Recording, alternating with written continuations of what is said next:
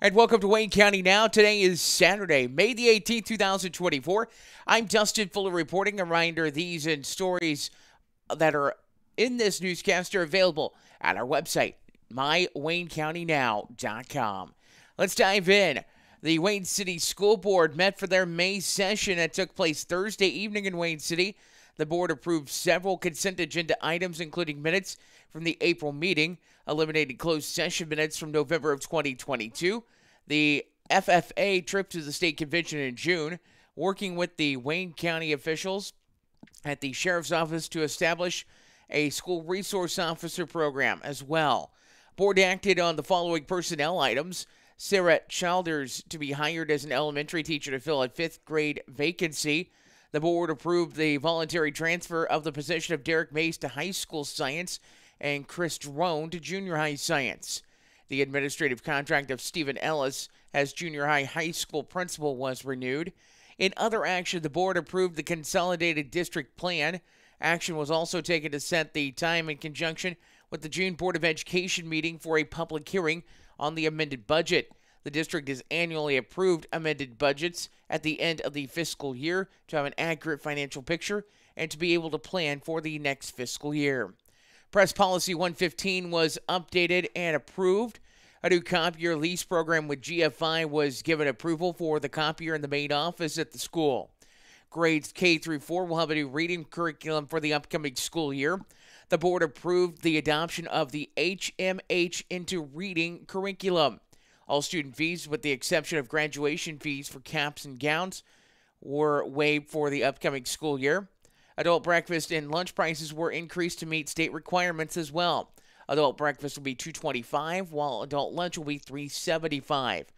Approval was given for the installation of a new server and partial computer upgrade.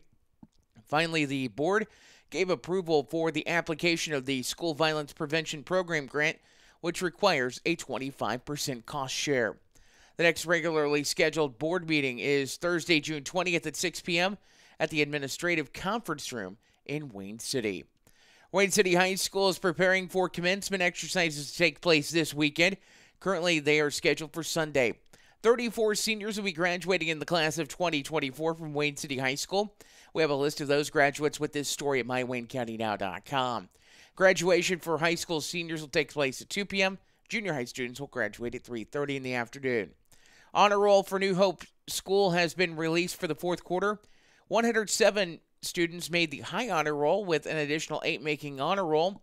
The list of students with the honor roll are with this story at mywaynecountynow.com.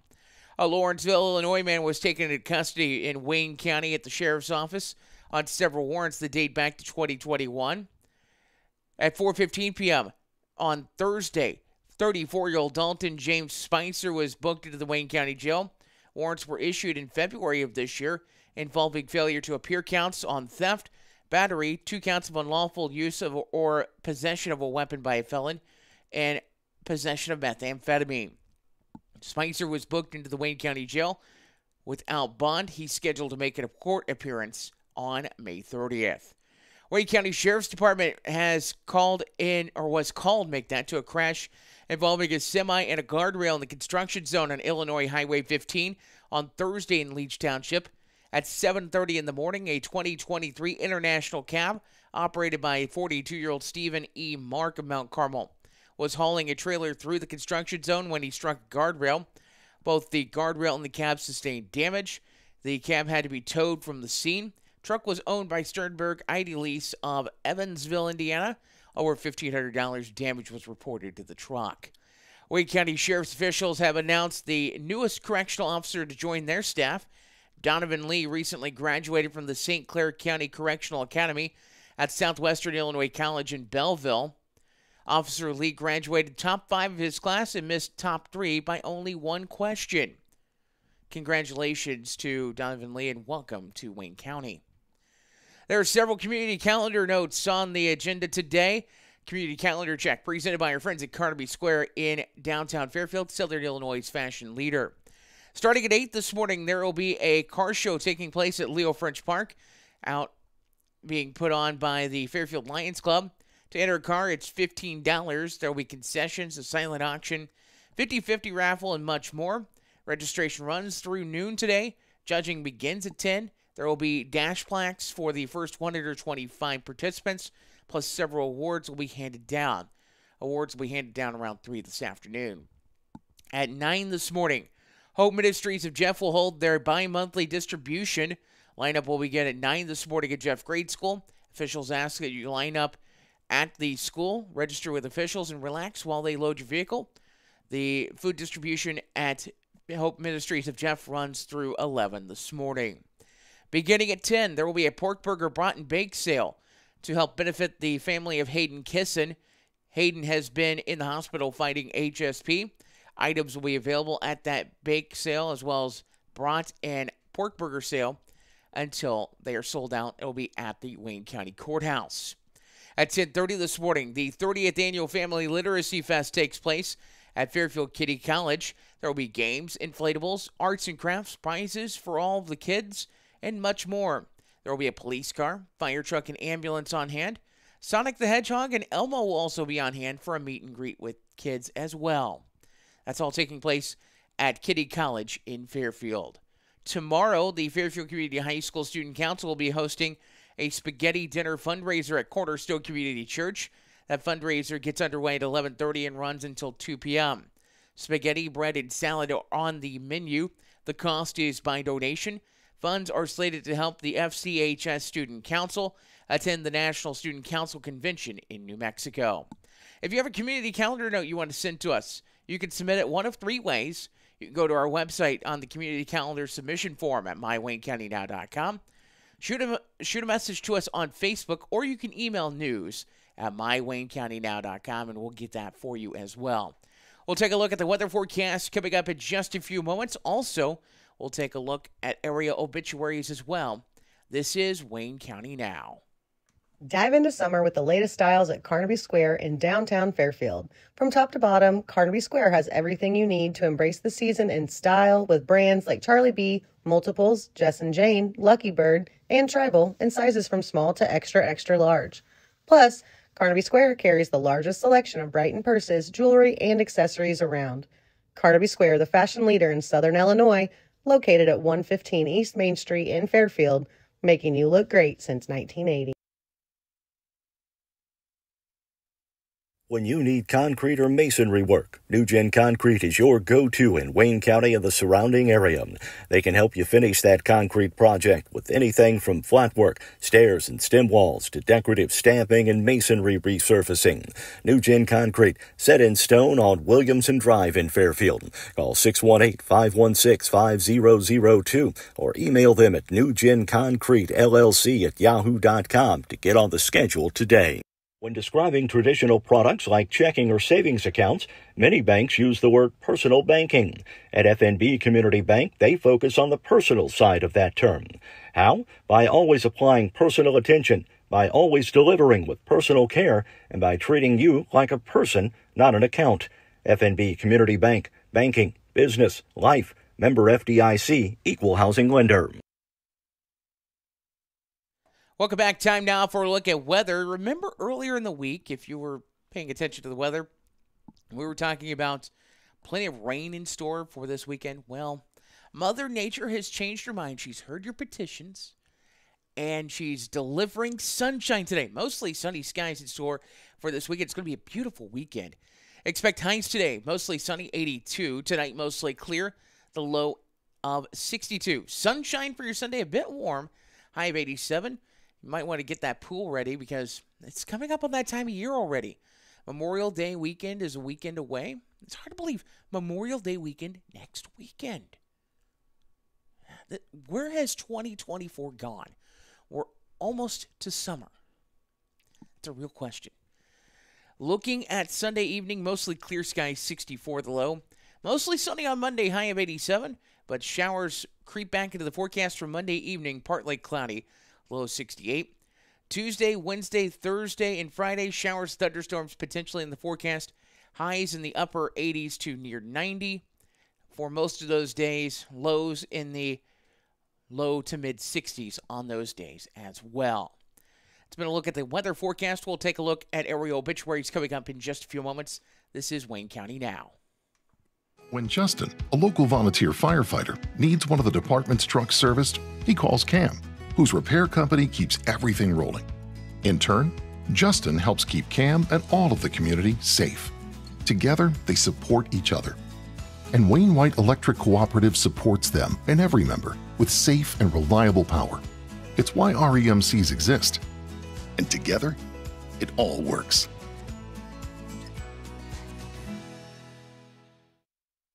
The loss of a loved one can leave you with a lot of unanswered questions, feelings of stress and anxiety, and grief.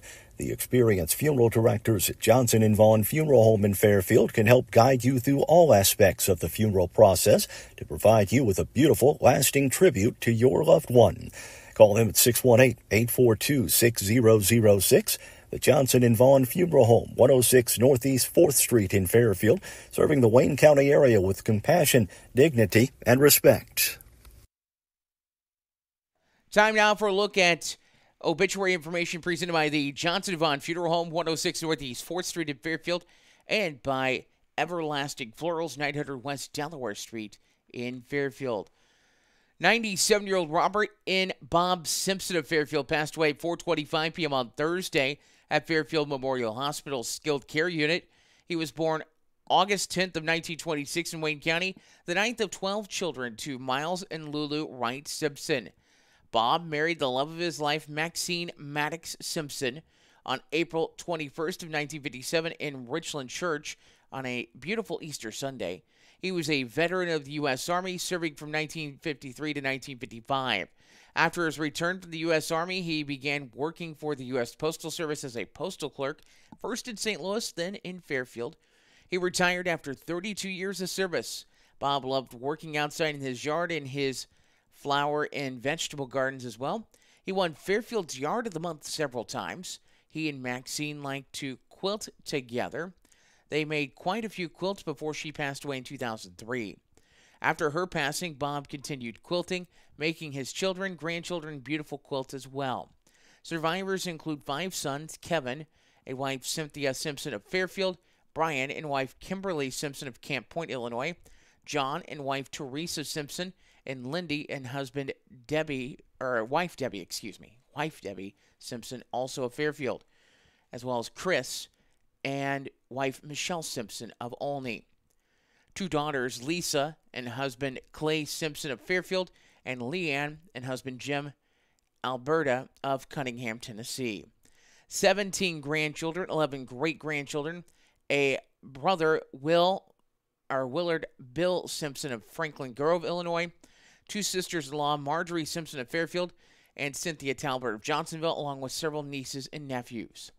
He was preceded to death by his parents, his wife Maxine, three sisters, Ruby Vanway, Mary Rose Johnson, and Anna Lou Taylor, seven brothers as well, including Bert, Harold, Charles, Orion Pug, Vern, Lindy, and Elias Simpson. Funeral services for Bob Simpson will be at 1 p.m. Tuesday at the Johnson Vaughn Funeral Home in Fairfield. Burial will follow in Richland Cemetery.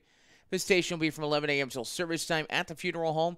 Memorial donations may be made to Fairfield Memorial Hospital Foundation for a special project for the skilled care unit.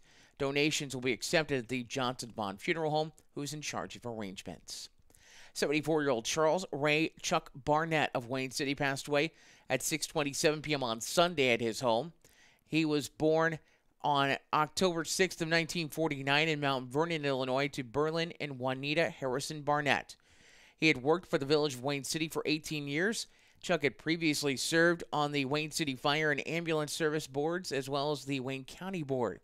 He was a member of the Wayne City Baptist Church and had been a Mason for 47 years. Chuck is survived by his daughter Selena and husband Chad Harrell of Crossville, and Chandra and husband Robbie Drew of Bluford daughter in law Amy Barnett of McLeansboro, five grandchildren Austin Barnett, Ashton and husband Austin Dillman, Sarah Harrell, Charlie Barnett, and Rayleigh Barnett. Great grandchild Griffin Dillman, brother Brent Barnett of San Jose, California, and sister Rita and husband John Bodum of Centralia. He was preceded in death by his parents, wife Treva Barnett, and son Alan Barnett. Chuck will be cremated and the family will be hosting a memorial service from 5 until 6 p.m. on Friday at the Archie Sanders Memorial Chapel in Wayne City. A graveside service will follow at Thomason Cemetery. Johnson Devon Funeral Home of Fairfield is assisting the family with arrangements. We'll take a look at sports action next. This is Wayne County Now. If you're looking for supplies for memorial decorations or a memorial piece, look no further than Everlasting Florals, formerly Leg Manufacturing, at 900 West Delaware in Fairfield. Owners Chad and Melissa Musgrave offer a full line of wholesale and retail floral supplies, silk flowers for every season, and even manufacture a variety of items in house, from wire and aluminum saddles to cemetery can holders, shepherd's hooks, and flag holders. Everlasting Florals, making the world more colorful, one stem at a time. Whatever your project might be, Gibbs Excavating and Land Management LLC has the right tool and the expertise to get the job done right. The crew at Gibbs Excavating and Land Management can handle any job from stump grinding or forestry mulching, driveway repair, concrete demo and rock work to dirt and auger work, trenching, and even garden tilling. Call 618 516 1462 or email Austin at austingibbs70 at yahoo.com to schedule your free estimate today. Time now for a look at sports on Wayne County Now. The Fairfield Community High School Mules tennis team saw their season come to an end at the Carbondale Sectional. No one as a team or individual advanced for Fairfield. Fairfield Mules baseball vying for a regional title this morning at 11. They are at Mount Carmel to take on the Golden Aces. Around 10:55 pregame this morning on Mule Nation, powered by RJ Marketing. Taking a look at action that took place in professional sports last night uh, on the WNBA scene. On Friday, it was Connecticut over Washington, 84 to 77. Minnesota over Seattle, 102 to 93. In action today in the WNBA at 12 noon, it is the Indiana Fever at the New York Liberty. At 2 this afternoon, the LA Sparks visit the Las Vegas Aces. And tonight at 7 this evening, the Chicago Sky are in Dallas to take on Dallas this evening. In the NHL playoffs, it went into the wee hours of the morning. The Dallas Stars move on in the NHL playoffs as they ended up with a 2 1 win in double overtime over Colorado to take that series four games to two. In that other series, Florida knocks off Boston 2 to 1 as they move on in the Stanley Cup playoffs as well. In action today, Vancouver visits Edmonton. The Vancouver Canucks hold a 3 to 2 lead in that series, that best of seven series. That is a 7 o'clock puck drop this evening in Edmonton. Taking a look at NBA playoff action from last night, it's going to be a game seven in the Pacers Knicks series. It was kind of expected to be that way. Pacers at Gainbridge knock off the New York Knicks 115 or 116 to 103. Make that that series tied at three games apiece. Tonight in the NBA playoffs, Oklahoma City visits Dallas. Dallas holds a 3 2 lead in that series. That is a 7 o'clock Central Time tip this evening. In Major League Baseball action, taking a look at scores from Friday. The Pirates over the Cubs 9 to 3. It was Philadelphia over Washington 4 to 2. Baltimore down Seattle 9 to 2. The Yankees over the White Sox 4 2. Tampa Bay over Toronto 4 to 3. Cleveland over Minnesota 3 to 2. Miami shuts out the New York Mets 8 0. San Diego downs Atlanta 3 to 1. Kansas City over Oakland 6 to 2. It was the LA Angels over Texas 9 to 3. Milwaukee falls to Houston 5 4 down at the Juice Box. Cardinals pick up a 10 6 win at Busch over the Boston Red Sox. Detroit shuts out Arizona and just takes them to the woodshed. 13 0 that final score. The LA Dodgers knock off the Reds last night 7 3 late at Chavez Ravine. And it was San Francisco over Colorado 10 to 5. Action today beginning at 12:05 this afternoon. It is the White Sox and the Yankees at Yankee Stadium. At 1:20, Pittsburgh visits the Chicago Cubs. At 2:07 this afternoon, Tampa Bay is at Toronto. 3:05, at Seattle and Baltimore. Colorado at San Francisco. At 3:10 this afternoon, the New York Mets are at the Miami Marlins. At 5:05 this evening, Washington is at Philadelphia. Minnesota is at Cleveland at 5:10 p.m. At 6:10 p.m., Oakland is at Kansas City. Also at 6:10 p.m., Milwaukee is at Houston. 6:15 this evening, Boston visits St. Louis Cardinals. You can catch the Cardinals and Boston game on 105.9 FM WOKZ. Also at 6:15 this evening, the LA Angels are at Texas to take on the Rangers. San Diego is at Atlanta at 7:10 this evening. Detroit visits Arizona, and at 8:10 this evening, the late game, Cincinnati at the LA Dodgers. That's been a look at the latest local news, weather, and sports for your Saturday. I'm Dustin Fuller saying thanks for joining us on Wayne County Now. We will see you tomorrow morning for a new edition of Wayne County Now.